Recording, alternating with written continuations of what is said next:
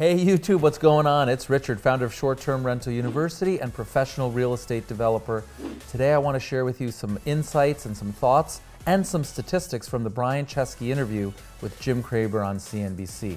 And the reason I'm doing so isn't only because these statistics are mind blowing, but it really has some insight into the future of Airbnb that I, for one, am currently taking advantage of and will continue to take advantage of and want to encourage you to take advantage of. So let's get started. So as many of you know, in my prior life being on Wall Street, I'm glued to CNBC. Like wherever there's cable and a television, CNBC is always on. I don't recommend it for you, but that's just sort of like my background noise. And when I see something or hear something or see the ticker come across, it gets my attention.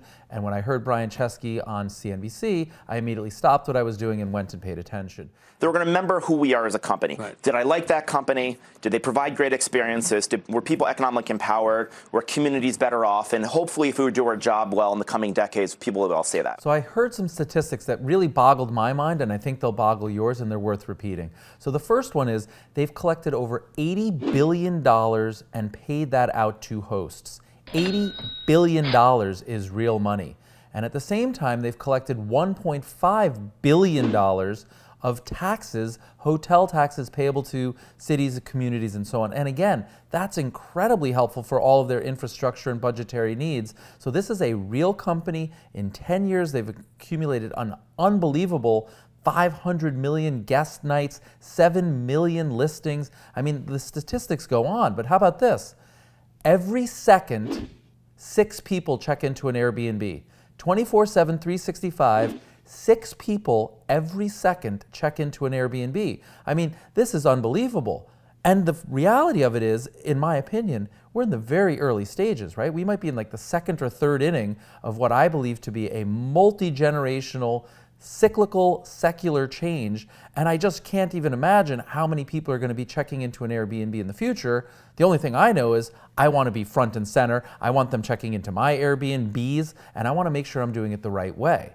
And so a few other statistics that I think are worthy of mention is 50% of the hosts are women, and one of the largest categories or um, people that are doing this are ordinary people, school teachers. Like that's one of the most popular secondary forms of income is for school teachers, and I just think that that's wonderful, right? Teachers of all Teachers of all professions, I believe, are incredibly valuable and underpaid, and I think it's wonderful that they can monetize their knowledge and their hosting and their people skills in another way, and so Airbnb is a tremendous platform. So I hope you agree. I had no idea that we were talking about any numbers quite like that, but there's two additional points that I think are really the point of the interview, and I want to share them with you. The first one is Mr. Chesky believes that he's a platform built on trust. Last week, for example, we made our biggest announcement in the history of our company since we founded in our platform of trust. You see, ultimately, we're in the business not of sharing a home, but we're in the business of trust. And what we're doing with that business is now we're going to verify 100% of the listings on Airbnb. We're going to verify them for accuracy and for basically hospitality standards. No internet platform with hundreds of millions of users has attempted, I don't think, to verify all the veracity of their information. Everything that they do is about trust that people can trust that they're staying in a good Airbnb.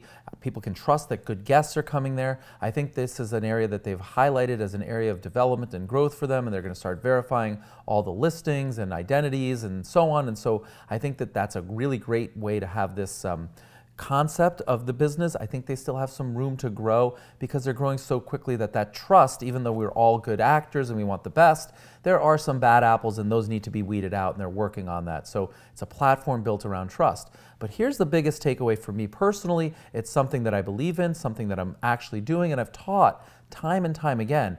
If you take a look at what Brian Chesky's title is, which I had not done until I saw this interview, it's the co-founder and CEO of Airbnb and community. What? CEO and community? Why is that name attached to his job title? Well, I've been teaching that community is an integral part of the future of Airbnb and one that we as hosts should really be taking advantage of. So, what does community mean? Well, if you stop and think about it, we on this YouTube channel are a community. We in the Facebook group, Short Term Rental University Facebook group, are a community.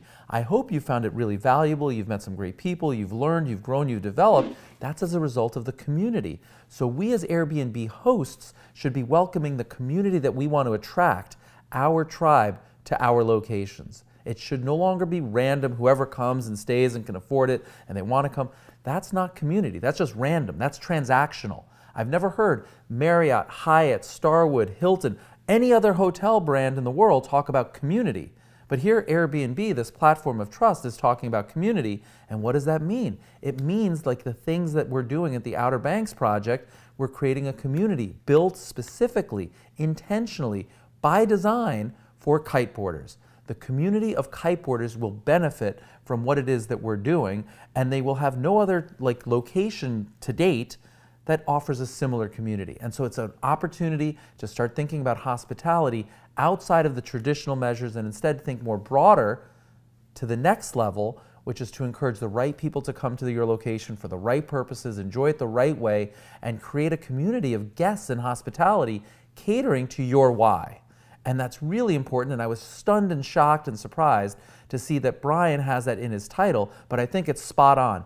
The opportunity for hospitality on a go forward basis is about attracting the right people at a very micro niche type level to create that community around an affinity, a hobby, a sport, an activity, anything.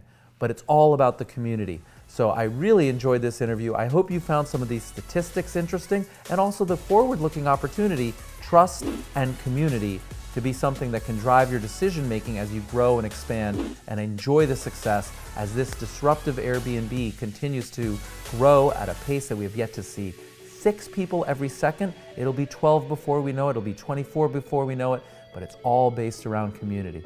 So leave your comments below. I'd love to hear your thoughts. Please like the video and subscribe. Thank you.